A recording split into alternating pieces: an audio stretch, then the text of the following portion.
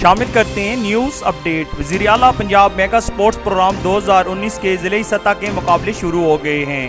ہم آپ کو اپڈیٹ کرتے چلیں۔ وزیر اعلیٰ پنجاب میگا سپورٹس پروگرام دو ہزار انیس کے ضلعی سطح کے مقابلے شروع ہو گئے ہیں۔ تفصیلات کے مطابق وزیر اعلیٰ پنجاب میگا سپورٹس پروگرام دو ہزار انیس کے ضلعی سطح کے مقابلے شروع ہو گئے ہیں۔ Government boys high school number ایک فتح جنگ میں ایتھلیٹکس مقابلوں کے پہلے دن ضلع اٹک کی تمام تحصیلوں کے ایتھلیٹکس ونر کھلاڑیوں نے بھرپور شرکت کی۔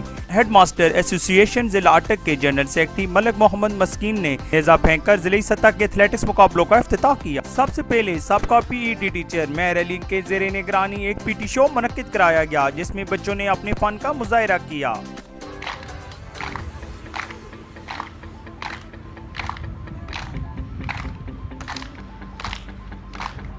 اس کے بعد کھلاڑیوں سے حلف لیا گیا۔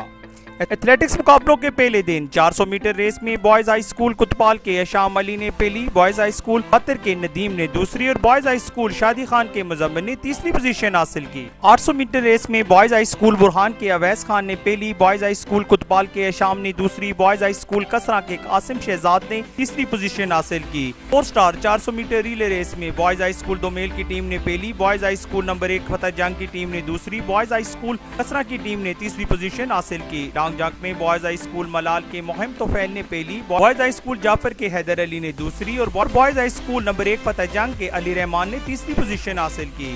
ہائی جمپ میں ہائی اسکول ملال کے منیب علی نے پہلی۔ ہائی اسکول سیاں والا کے حق ولی نے دوسری اور ہائی اسکول نمبر ایک فتح جنگ کے رئیس خان نے تیسری پوزیشن حاصل کی۔ ٹرپل جمپ میں ہائی اسکول کتبال کے اماد اور نبیل نے بالترتیب پہلی اور دوسری ہائی اسکول فتح جنگ کے دل خان نے تیسری پوزیشن حاصل کی۔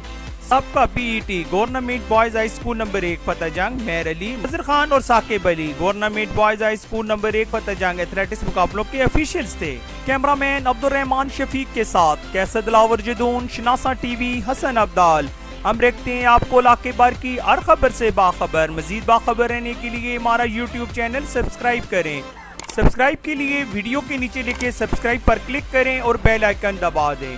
شناسا ٹی وی رکھے آپ کو ہر خبر سے باخبر۔